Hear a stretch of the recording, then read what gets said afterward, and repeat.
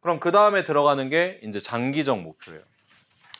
이제 이거는 어, 경영력 마무리하면서 제가 설명드리는 부분인데 장기적 관리에 있어서 여기 계신 원장님들이 가장 중요하게 생각해야 되는 게 뭐냐면 교육이에요.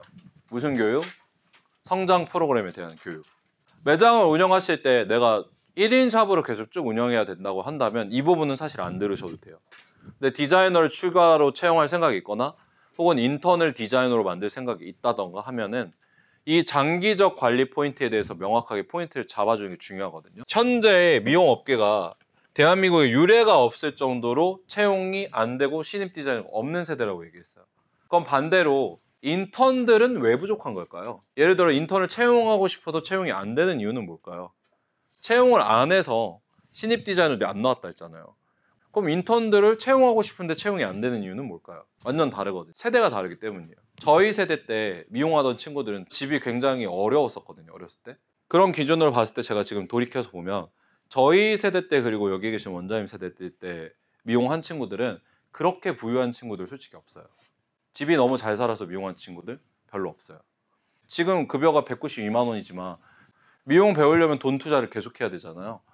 학업비 계속 내야 되고 디자이너 되려면 교육 계속 받아야 되잖아요. 그 투자를 못 해요. 그래서 지금은 진짜 하고 싶은 애들만 미용을 하는데 그 진짜 하고 싶은 애들이 미용을 왜 하냐면 돈을 잘 벌어서. 저희 매장 보면은 매출 1000 하면 월급 300 받고요. 매출 1500 하면 급여 500 이상 받아요. 그러면 지금 미용하는 애들이 인턴 애들이 위식은 뭐냐면 난 디자이너가 돼서 돈을 많이 벌고 싶다 이거예요. 그러니까 당연히 인턴이 취업을 하려면 어느 살롱을 들어갈까요? 교육이 잘 돼 있는 매장. 그리고 오너가 성장을 할 줄 아는 매장을 선택하는 거예요. 그럼 장기적으로 봤을 때 우리가 확장을 하거나 매장을 성장시키려면 나 혼자서 안 되잖아요. 사람이 있어야 되잖아요. 그러면 내가 교육적인 부분들에 있어서 해결을 할 수 있는지 없는지가 앞으로의 매장을 계속 유지하는지 유지 못하는지의 개념이 되는 거예요. 어느 브랜드든 직원을 채용해주는 브랜드가 없어요. 브랜드들도 아는 거예요. 직원 못 구해 우리가 이제. 근데 옛날에는 다 구해줬거든요. 근데 그런 기준으로 봤을 때 그러면 우리는 장기적으로 봤을 때 지금부터 1년 안, 최소, 최소 1년 안, 그리고 최대 1년 이후에 교육적인 부분들에 있어서 해결이 불가능하면 성장을 못 하는 거예요. 요새는 디자이너 한 명 뽑는 것보다 인턴 키워서 디자이너 만드는 게 훨씬 빨라요. 그래서 원장님들이 다 그 준비를 하거든요. 근데 인턴 뽑으면 뭐해? 디자이너 만드는 코스가 없어서 애들이 나가버리는데. 그럼 원장님들이 장기적 관리에 있어서 생각해 봐야 되는 건 두 가지는 어떤 거냐면 교육을 자체적으로 진행을 할 건지 아니면 위탁 교육을 할 건지 생각을 해야 돼요. 인턴들이 가장 많이 물어보는 게 여기는 교육을 어떻게 해요 이건데 거기에 대해서 어 우리는 자체 교육인데 특별한 프로그램이 없고 그냥 그달 그달 가리키고 싶은 거 가리켜 이러면 절대 채용 안 돼요. 그리고 그게 계속 노출돼야 돼요. 교육을 꾸준히 계속 하고 싶다는 게. 저희 이번에 석유점 한 명 뽑는데 이력서 100장 들어왔어요.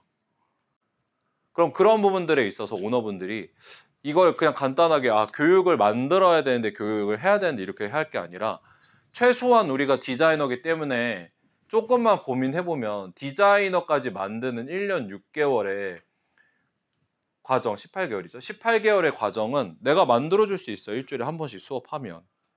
그럼 이걸 자체적으로 해결할 건지 아니면 위탁을 할 건지 이런 부분들에 대해서 고민을 해야 되고 두 번째는 살롱워크에 대해서 디자이너들이 인턴들이 있는 매장들 같은 경우는 인턴들을 교육할 수 있는 교육 프로그램을 만들어주는 게 중요해요. 제가 교육 끝나고 저희 매장 1레벨부터 5레벨까지의 교육 프로그램이라 디자이너들이 인턴들한테 해주는 16주차 교육 프로그램이랑 다 드릴 거거든요. 근데 보시면 왜 해야 되는지라고 보면 인턴들이 디자이너 교육이 되는 프로그램이랑 살롱워크 프로그램이랑 달라요. 아예. 살롱워크 프로그램은 염색, 펌, 시술에 대한 집중도가 있고요. 그냥 아카데미 수업 같은 경우는 커트 베이스에 대한 얘기들이 많단 말이에요. 근데 인턴들한테 우리가 매장에서 교육을 가리키면 커트 교육을 가리키는 것보다는 시술 교육을 많이 가리키잖아요.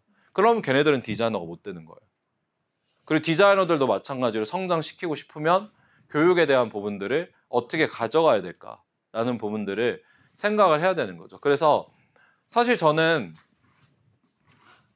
어 지금 대한민국 미용업계가 좀 위기 상황이라고 봐요. 왜냐면 인력난이 너무 심해서 매장들이 개인 살롱들이 많이 없어질 거라고 저는 생각하고 있거든요. 구조상 봤을 때 너무 옛날의 방식을 고수하기 때문에 아직까지도 선불권 영업, 그러니까 객단가 영업을 해야 되는데 객수 영업을 고집하는 업체이기 때문에 그만큼 객수가 받쳐주지 않기 때문에 계속 하향세를 겪을 수밖에 없단 말이에요.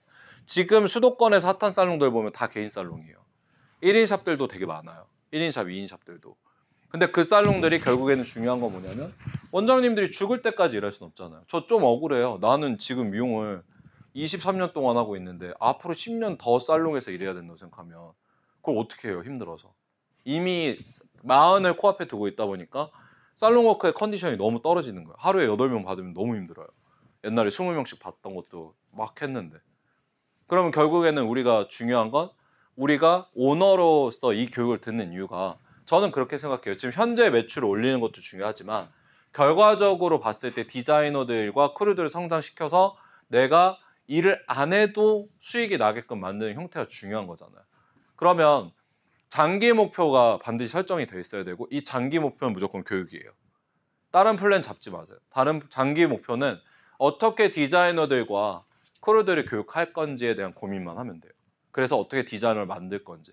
그 인턴들 같은 경우는 안 되면 위탁시키고 디자이너들도 안 되면 외부 아카데미 보내야 돼요. 저희도 그렇게 하고 있어요. 제가 못하는 교육은 다 외부로 보내고 있거든요. 그래서 그런 부분들에 대해서 해결을 갖는 게 중요하다고 생각합니다. 자, 그래서 이제 드디어 딱 6시가 됐어요. 와, 나 배꼽 시계 미쳤다. 감사합니다. 오늘 고생 많이 하셨습니다. 네.